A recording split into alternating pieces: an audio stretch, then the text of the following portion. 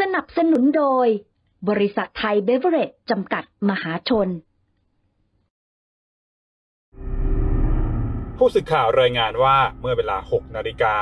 นายอนุทินชาญวีรกูล รองนายกรัฐมนตรี และรัฐมนตรีว่าการกระทรวงมหาดไทย และหัวหน้าพักภูมิใจไทย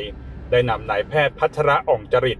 แพทย์ศัลยกรรมหัวใจและสวงอก โรงพยาบาลจุฬาลงกรณ์และทีมแพทย์ เดินทางไปยังโรงพยาบาลศูนย์สกลนคร อำเภอเมืองสกลนคร จังหวัดสกลนคร เพื่อผ่าตัดนำอวัยวะออกจากร่างผู้เสียชีวิต หรืออยู่ในขั้นภาวะสมองตาย แล้วลงนามยินยอมบริจาคอวัยวะ เพื่อนำไปปลูกถ่ายช่วยชีวิตผู้ป่วยรายอื่น เรียกว่าภารกิจหัวใจติดปีก การเดินทางในครั้งนี้ ได้อวัยวะกลับไปประกอบไปด้วย หัวใจ ไต และตา ทั้งนี้ระหว่างรอผ่าตัดนายอนุทินได้เข้าพบกับญาติผู้เสียชีวิต เพื่อให้กำลังใจต่อการสูญเสีย พร้อมกับยกมือไหว้แสดงความขอบคุณผู้เสียชีวิต ที่ยินยอมบริจาคอวัยวะเพื่อช่วยเหลือผู้ป่วยรายอื่นต่อไป ทั้งนี้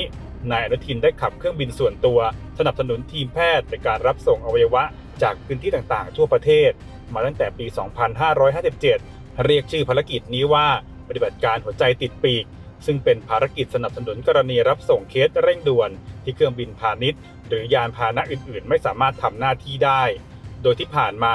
สามารถส่งต่ออวัยวะแก่ทีมแพทย์ และช่วยชีวิตผู้ป่วยได้เป็นจำนวนมาก มีรายงานว่านายอนุทินได้ขึ้นบินในภารกิจดังกล่าวไปแล้วกว่า 50 เที่ยวบิน